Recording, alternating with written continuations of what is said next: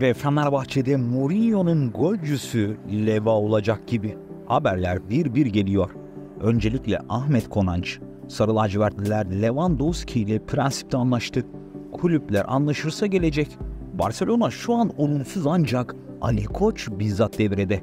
Mourinho bu transferi istiyor. Polonyalı golcü haber bekliyor bilgisini paylaştı.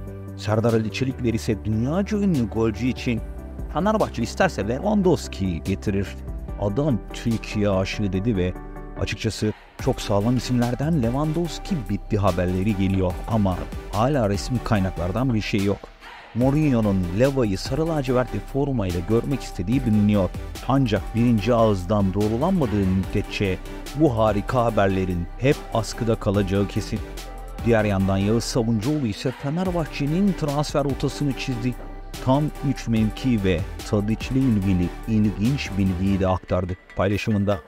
Fenerbahçe direkt ilk 11'de oynayabilecek sol kanat, santrafor ve 6 numara bakıyor. 3 bölge ile ilgili arayışlar ve çalışmalar sürüyor. Ayrıca Jose Mourinho, Dušan Tadic'i 10 numara pozisyonunda kullanmayı düşünüyor.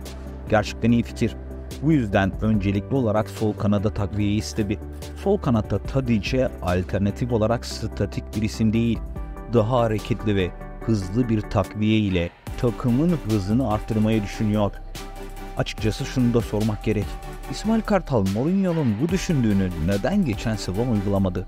Top tutabilen, kilit pasların adamı Tadic acaba neden sol kenarda hapsoldu? Tadic mi istemedi yoksa İsmail Kartal'ın elinde kanat mı yoktu?